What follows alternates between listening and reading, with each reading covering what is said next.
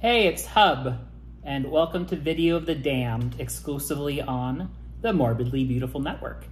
It's been an interesting couple weeks for the show. I've had some trailer reactions, gotten a lot of views on those, I'm happy to say. But also, I inadvertently started a wrestling discourse. Uh, the explanation is on my personal channel, just you know, at Brody Hubbard. But I tweeted from the Video of the Damned account at Video Damned about a promo from All Elite Wrestling by a wrestler named Jon Moxley. Uh, very much resembling, if not identical, to a scene in 1992 Australian cult classic Romper Stomper. And some wrestling commentators got a hold of that, talked about it on their shows, people tweeted about their commentary, and it became a little bit of a thing. Um, you can go check that out if you would like. If you're not interested in wrestling or 1992 Australian cult classics, it's okay. Although I did write a really good essay for Drunk Monkeys at drunkmonkeys.us about Romper Stomper. I'm really proud of it. It's, I think, the definitive essay about the movie, the soundtrack, and the spin off series from a couple of years ago. So check that out. Just big thanks to Brian Alvarez, Mike Sempervive, Wrestling Observer Live, Brian Last, Jim Cornette, and the Jim Cornette Experience, Web is Jericho, um, everybody else who has covered this story and mentioned Video of the Damned in the process somehow. Speaking of great 90s films, or at least uh, really divisive cult classics, uh, Harmony Korine did a movie called Gummo, and there's a wonderful essay uh, by Ben Woodiwiss, who directed one of my favorite films, Benny Loves Killing. Uh, ben talks about Generation X, outsider art, representation of subcultures and weirdos on film. Uh, lots of good stuff in this 12 minutes that uh, uses Gummo as kind of the entry way into a piece about all that. So check that out. It's a great, great essay if, if you're a cinephile, if you love outsider art, if you're Gen X. Um, but even if you're not some of those things, I think you have to be a cinephile though to appreciate it. Um, or maybe you'll become a cinephile by seeing Ben's essay. Um, Gummo, I actually wrote about kind of. A small press called Pink Plastic House has a prose and poetry compilation called The Book of Corinthians. And I have an essay in there called Devil Worshipping Son of a Bitch, and it's very much inspired by Gummo. Definitely track that down. I was saying to a friend, you know, I think Ghost World is in many ways a counterpart to Gummo. While everybody in the small town in Gummo is a weirdo, and there are those kind of weirdos as well in Ghost World, the town in Ghost World is more or less an average suburb, and Enid is the outsider. She's the weirdo. We focus a lot on her interest in counterculture and kind of found vintage culture. That's how she ends up bonding with Steve Buscemi's character. And while Ghost World is more from a feminine perspective and also has themes about having to grow up, evolving beyond your current friends, I think it also has a little bit of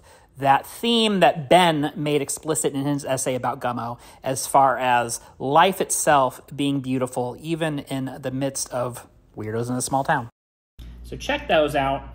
Uh, right now, though, let's talk about three movies I have seen recently Last Night at Terrace Lanes, Here for Blood, and Hellhole. So, starting off with last night at Terrace Lanes, this is about a bowling alley in a small town closing on its final night, and a cult shows up to kill everybody. The bowling alley owner is there, so is his daughter, who is there with a friend, a girl who might be her date. To you, it might be obvious and clear cut. I am merely a heterosexual man, so to me, it was kind of vague. I'll let you decide. This was directed by Jamie Nash, who has a story writing credit on something I enjoy very much, the WNUF Halloween special. Nash has also been a producer on stuff that you've probably liked, like installments of the VHS movies and Satanic Hispanics. Uh, also a producer on the upcoming Ghost Game, which is directed by Jill Six of The Stylist. I'm very excited about that. Also with a writing credit on this movie and the upcoming Ghost game is Adam Cesare, very famous for Clown in a Cornfield, which is his book, which will now be an upcoming movie as well. There are some things that this film does right. It's got some funny moments. They really make great use of the location.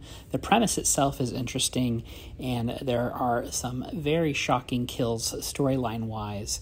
Um, pretty early on, you get to know some folks who you think are going to be with you for the whole journey, and they are most certainly not. Now, some of the cult stuff, I'll be honest, was confusing to me. Might not have worked for me totally, but the basic premise of these folks stuck in this bowling alley and being hunted very creepy compelling stuff. Definitely a easy breezy brief to be watch that you can sit back and enjoy with friends or loved ones or bowling team partners. And hey mary beth mcandrews is an executive producer on here. I like mary beth mcandrews so for mary beth and for the spirit of bowling for the spirit of terrace lanes check it out Shawn Roberts is not a professional wrestler, but he does a pretty good job acting like one in Here for Blood. Uh, Roberts was on Degrassi The Next Generation, a bunch of the Resident Evil movies, and so many other credits. We don't have time to go through them all. Director Daniel Torres and writer James Roberts don't really have that many other credits. Actually, James Roberts, the writer, this is his only writing credit I found. You might recognize some of the actors from some things, but really the most notable person is Dee Snider, who only has a voice acting credit in this. I won't give away what or who, you'll just have to watch. And if you don't know him from Dee Snider's Strangeland, one of the most twisted movies I've ever seen, then you should know him as uh, Twisted Sister's lead singer. I didn't mean to make that twisted pun earlier, but I'm to leave that in. I'm not editing this out. Anyway, so you should know right off the bat the most unbelievable part of this movie for me aren't the cultists or the undead. It's that uh, some family would let uh, their babysitter's boyfriend take her place uh, babysitting that night because she's got to go study. But, um, you know, this dude seems like a pretty trustworthy guy. And I'll tell you right away, like the pro wrestling stuff doesn't really make that much of a difference to the plot. It just explains why he's such a good fighter. But really, it's about uh, basically kind of a Home Alone scenario. But instead of the wet bandits, it's uh, an undead cult. This is very fun, over the top stuff. Uh, think like Kids versus Aliens or Psycho Goreman. It's definitely on that level of zaniness. If you know the film Satanic Panic, which was written by uh, Grady Hendrix, the, the famous horror author and um, friend of the show, Ted Geoghegan. Definitely some satanic panic vibes. Nice little plot twist you may or may not see coming, but definitely worth the journey. And um, a lot of great kills, a lot of gory stuff. Definitely a fun one. Definitely a must watch. Speaking of must watch, finally we have Hellhole by John Adams and Toby Poser, aka the Adams family. You usually get to see their daughters Lulu and Zelda involved in this stuff. Lulu wrote with Toby and John on this, but um, no Zelda this time around. You do have John and Toby front and center in this alien slash the thing kind of sci-fi horror and it's great. So this was shot in serbia. It takes place on a serbian fracking site um, definitely a bigger scale than we're used to from the diy adams family filmmakers although where the devil roams you know that was something they took out on the road uh, it, the story at least you know the traveling uh, carnival folk um, but this is a different kind of movie. Those have more um, kind of poignant themes. Hellbender did as well as far as mother daughter goes. This is just a straight up like gore fest, creatures. Um, you know, there's some environmental undertones, but um, that's really not what this is all about. This is really about hey, there's a creature that we have unearthed, and we are stuck on this work site, and uh, what are we going to do about it? Look, you know John Adams, you know Toby Poser, then you know they know how to make a great movie. They know how to make a fun movie. They have fun stories, and uh, this is a different type of story, like I said, for them than I'm used to, but um, they know how to do it right, and they know how to do it in their flavor, their style. They've got the John Adams doing the music, the the rock and roll soundtrack, uh, you know, the great guitars and whatnot. Um, and you've got the snappy dialogue. You've got a bunch of unlikable people, uh, including John in this movie. He's not the greatest guy you're rooting for, but um, you really do come to love uh, Toby and uh, her nephew in this plus his new Serbian scientist friend.